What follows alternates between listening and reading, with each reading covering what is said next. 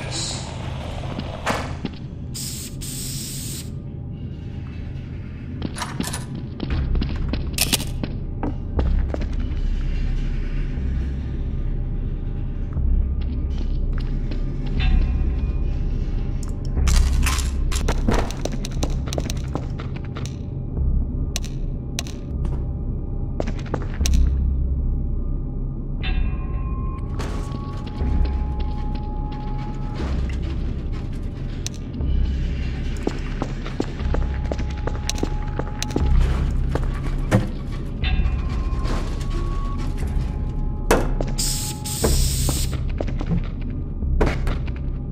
you.